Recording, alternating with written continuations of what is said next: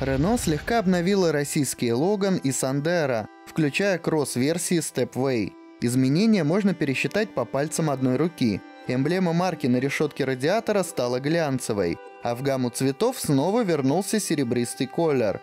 К салону прилагается другая обивка сидений, а со старшим из моторов теперь будут новые ручки управления трансмиссией.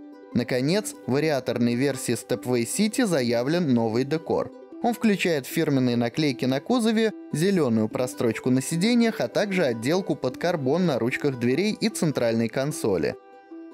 Стоит такой набор 14 тысяч рублей. Очередное обновление второго Логана лишь подтверждает давнюю мысль. Выхода свежей, третьей генерации нам придется ждать еще год, два или все три. К слову, марка Dacia, под которой Логаны и Сандера продаются на Западе, только что выпустила релиз, в котором нахваливает новое поколение за тишину, экономичность и комфорт.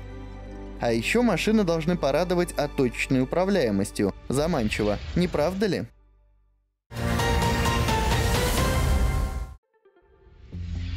Однако российский рынок из-за утильсбора вынужден идти по другому пути – Новые модели к нам опаздывают из-за необходимости локализации, а потом долго-долго стареют на конвейере, чтобы окупить миллионы евро, потраченные на ту самую локализацию. Из-за этого нам недоступно множество интересных машин. Например, Nissan Note, который только что перешел уже в третье поколение. Правда, отныне модель заточена строго под родную Японию. Ни в Западной Европе, ни в Америке микровен больше не продается. В актуальной версии Note стал последовательным гибридом, то есть бензиновый двигатель лишь работает генератором.